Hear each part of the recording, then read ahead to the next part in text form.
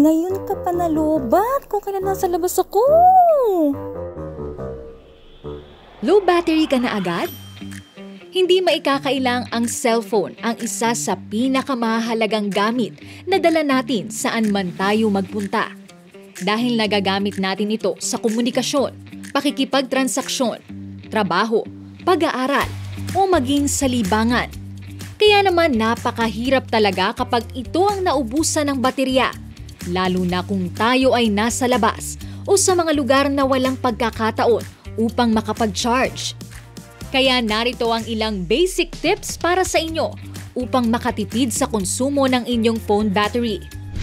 Una, babaan ang phone brightness upang makabawas sa battery consumption habang ginagamit ang inyong cellphone. Maaari ring i-enable ang auto brightness upang ang phone na mismo ang mag-adjust nito depende sa liwanag o dilim ng paligid. I-check ang applications na inyong ginagamit. Karamihan sa mga apps lalo na ang games, ay malakas sa konsumo ng baterya dahil sa graphics at audio nito. Siguraduhin ding nakaklose ang apps kung hindi na ginagamit dahil patuloy pa rin ang pagtakbo at paggamit ng baterya ng mga ito kung naka-minimize lamang. Kung inyong nais ay pwede ring mag-download ng battery saving application upang makatulong mag-monitor ng apps na gumagamit ng baterya.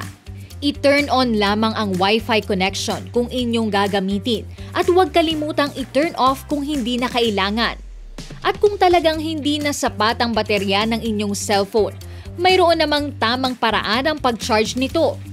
Huwag iwanang nakacharge ang cellphone buong gabi dahil maaaring uminit ang inyong phone at masira ang baterya nito.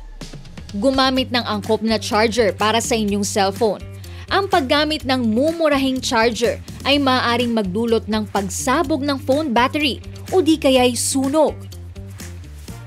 At kahit kung minsay nakatutokso, mainam kung hindi gagamitin ang inyong cellphone habang ito'y nagcha-charge.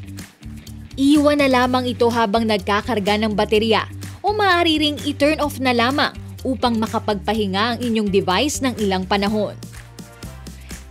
Naway nakatulong ang mga nabanggit na tips sa matipid na konsumo at maayos na pag-charge ng inyong cellular phone.